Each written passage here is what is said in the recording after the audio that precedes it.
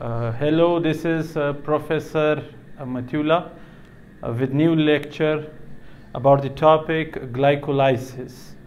आज हम बात करेंगे सेलुलर रिस्पायरेशन रिस्पायरेशन और break down of food at cellular level और जो पहला टॉपिक हम डिस्कस करेंगे वो है glycolysis glycolysis by the word itself it means the break down of glucose lysis का लफ्ज़ uh, जब भी हम जोड़ते हैं किसी वर्ड uh, के साथ so it means to break down that particular molecule जिसकी हम बात कर रहे हैं। यहाँ पर हम बात करेंगे ग्लूकोज की uh, जो बेसिकली सिक्स कार्बन कंपाउंड है और इसकी ब्रेक डाउन करेंगे in the cytoplasm the purpose of generating a और ए जो है एडनोसिन ट्राईपॉस्फेट और also energy currency of the cell यानी सेल या सेलुलर लेवल पर जितनी भी एक्टिविटीज़ प्रोसेसेस काम होते हैं, उनके लिए जो एनर्जी दरकार होती है बॉडी के तरीके से करेंसी के तौर पर उसे हम एडनोसिन ट्राईपॉस्फेट कहते हैं। चूँकि सेल में जब ग्लूकोज इंटर होता है in the presence of enzymes और इंजाइम्स हम डिस्कस कर चुके कि they always lower down the activation energy यानी एक रिएक्शन एक केमिकल रिएक्शन जितनी एनर्जी से वो स्टार्ट होता है उस क्वांटिटी या उस अमाउंट को लोअर करके एक रिएक्शन परफॉर्म करना, यही इंजाइम्स का रोल रहता है। यहाँ पर भी हम जब डिस्कस करेंगे तो सेलुलर रिस्पायरेशन के लिए दो areas within the cell काफ़ी इम्पोर्टेंट है जहाँ पर ये प्रोसेस कंप्लीट होता है। Number one cytoplasm number two that is the mitochondria mitochondria को powerhouse of the cell भी कहा जाता है uh, जिसे हम डिटेल में डिस्कस कर चुके हैं कि why is it called the powerhouse of the cell लेकिन ग्लाइकोलाइसिस uh, uh, जब स्टार्ट होगा तो ये इसकी कंप्लीशन बेसिकली होती है इन द साइटोप्लाज्म और साइटोप्लाज्म में इस रिएक्शन या इस प्रोसेस का परफॉर्म होना बेसिकली uh, दो स्टेप्स में होता है। इसको uh, आपकी आसानी के लिए हम इसे डिवाइड करेंगे into two steps number one जहाँ पर हम इन्वेस्ट करेंगे प्रिपेयर uh, करेंगे उस पर्टिकुलर कंपाउंड को टू रिलीज़ ए जिसे हम ग्लूकोज कहते हैं। एंड सेकंड फ़ेज़ जो होगा वो प्रॉफिट या प्रिपेरेटरी जो है आ, मतलब ऑक्सीडेटिव फ़ेज़ होगा जो हमें बाद में चलकर आगे जितने भी प्रोसेसेस या स्टेप्स हम डिस्कस करेंगे वहाँ पर हमें एटीपी जनरेट करके देगा। सो so, ग्लाइकोलाइसिस को ई एम पी पाथवे भी कहा जाता है due to these three German scientist इसको ग्लाइकोलाइसिस के अलावा जो दूसरा नाम दिया जाता है that is E M P second glycolysis glyco for the word glucose six carbon compound और lysis means to break down यानी uh, जब हम ग्लूकोज की ब्रेक डाउन करते हैं within the cell in the cytoplasmic region of the cell it is an enzymatic reaction जहाँ पर enzymes को हम डिस्कस करेंगे कि किस तरह वो ब्रेक डाउन करते हैं. और टू जनरेट ए और जो लास्ट कंपाउंड uh, होगा ग्लाइकोलाइसिस का उसे थ्री कार्बन कंपाउंड जो दो जनरेट होंगे उसे हम पायरुवेट कहते so let's begin with its key steps जो पहला स्टेप है ग्लाइकोलाइसिस का जिसे हम डिस्कस कर चुके हैं कि इसे हम बेसिकली इन्वेस्टमेंट फ़ेज़ कहते हैं। इन्वेस्टमेंट इट सेल्फ मीन्स जहाँ पर हम कुछ खर्च करके और बाद में वहाँ से हम मुनाफा कमाए। So that is called as investment investment के बाद ही प्रॉफिट जो है वो uh, मिलता है या it is also called as the preparatory phase यानी यहाँ पर हम उस पर्टिकुलर कंपाउंड जिसे ग्लूकोज कहते उसे हम तैयार करेंगे उसे गुजारेंगे मुख्तलिफ़ इंजामेटिक रिएक्शन से और उसे हम लेके जाएँगे पायरुवेट तक। But to understand it in deep इसको हम डिवाइड करते हैं इनटू प्रिपरेटरी फ़ेज़ जो पहला स्टेप है और दूसरा स्टेप जो होगा उसे हम कहते हैं ऑक्सीडेटिव फ़ेज़ या उसे हम कहते हैं प्रॉफिट फ़ेज़ जहाँ पर हमें मुनाफा in the shape in the form of a हमें मिलेगा।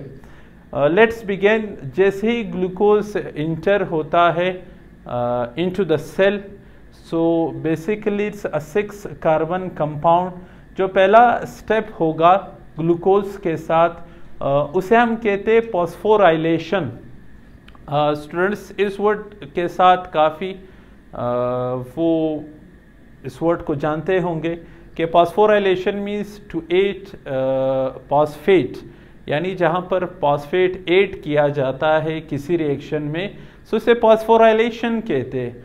और if the phosphate is removed from any reaction any compound any symmetric reaction उसे डी पॉस्फोराइलेशन कहते हैं। So, यहाँ पर जो पहला स्टेप होगा uh, वो पॉस्फोराइलेशन है। अब हमें पता है कि glucose is a six carbon compound यानी इसके जो वन एंड है एंड सिक्स एंड है। ये दोनों जो कार्बन है ये फ्री होते हैं। सो जो पॉस्फेट होगा ये कहाँ पर अटैच हो जाएगा? सिक्स कार्बन पे। सो so, पहला स्टेप जो है उसे हम पॉस्फो राइलेशन कहते हैं। द वर्ड मीन्स के addition of phosphate into the glucose और ओ पासफेट हमें कहाँ से मिलेगा? बेसिकली uh, जो एटीपी है वहाँ पर मौजूद होगी। चूँकि ये एक इन्वेस्टमेंट फ़ेज़ है तो एक पॉस्फेट हम यहाँ पर इन्वेस्ट करेंगे और वो एटीपी जो है वो क्या बन जाएगा? ADP that is adenosine diphosphate यानी पहले तीन पॉस्फेट थे एडनोसिन के साथ अब एक पॉस्फेट जो है ग्लूकोज के साथ आ गया। तो बाकी जो है वो वहाँ पर दो पॉस्फेट बच जाते हैं जिसे हम एडनोसिन डाई पॉस्फेट कहते हैं। The enzyme that is helping out in this reaction that is hexokinase enzyme और आप इस सफिक्स uh, के साथ वाकिफ है कि जहाँ पर एस का वर्ड आए that is an enzyme but it is not true in all the cases first compound जो बनेगा वो होगा glucose six phosphate six means the six carbon जहाँ पर क्या अटैच है ये पॉस्फेट अटैच और पॉस्फेट कहाँ से आए? जो एटीपी से आके यहाँ पर अटैच हुआ वो क्या बन गई? A D P second step क्या होगा? Isomerisation that is the second step यानी आइसोमर का बनना। अब ग्लूकोज का जो आइसोमर है सेकेंड चैप्टर बायोमोलिक्यूल्स में स्टूडेंट्स uh, आप पढ़ चुके हैं कि उसका जो आइसोमर होगा वो फ्रक्टोज होगा। और फ्रक्टोज बेसिकली इनका जो जितने भी मॉलिक्यूल्स की तादाद है, वो सेम रहती है, लेकिन जो एक शेप है स्ट्रक्चर है, वो चेंज हो जाता हो जाता है, जिसे हम आइसोमर कहते हैं। सो सेकेंड स्टेप आइसोमराइजेशन होगा, यानी सिर्फ़ ग्लूकोज सिक्स पॉस्फेट से पॉस्फेट हुई सिक्स कार्बन पर अटैच होगा।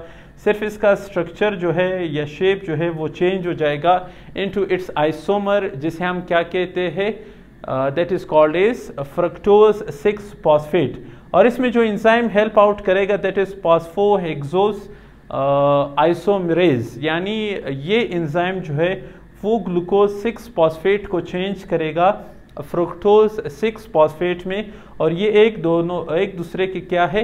आइसोमर्स है, यानी मॉलिक्यूलर जितने भी मॉलिक्यूल्स की तादाद है या फार्मूला है, वो सेम रहेगा, सिर्फ़ जो चेंजिंग आएगी, इन दोनों की स्ट्रक्चर एक रिंग में आल्सो एक पायरिनोज है और दूसरा furanose then after fructose six phosphate जो थर्ड स्टेप होगा अगेन इट इज़ पॉस्फोराइलेशन जिसे हम पहले भी डिस्कस कर चुके कि phosphorylation the word itself means के एडिशन ऑफ़ द पॉस्फेट अब वही एडिशन ऑफ़ पॉस्फेट कहाँ से आ रहा है?